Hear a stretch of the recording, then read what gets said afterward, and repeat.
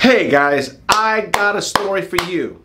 I have this patient that came from Spain and he had a ton of symptoms, the worst of which he hasn't slept for over five years after he passed out in the train station. You see, I fix sleep issues all the time.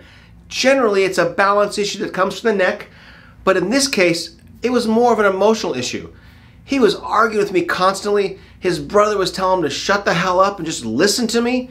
He just had a rough time. Not listening and not executing all the stuff I tried to do to help him get better.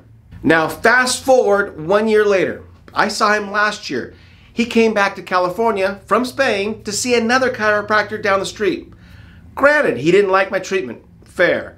He had to come back and see somebody else. Fair. But you know, he's bad mouthing me now. He's telling me I didn't help him. He's lying for some reason, and he does not want me to post the video. He wants me to take it down. So this video is about showing the truth, showing what happened over two weeks. Let you guys be the judge of what's going on. So watch this video before it gets taken down because it probably won't be up very long. Let me know what you think in the comment section.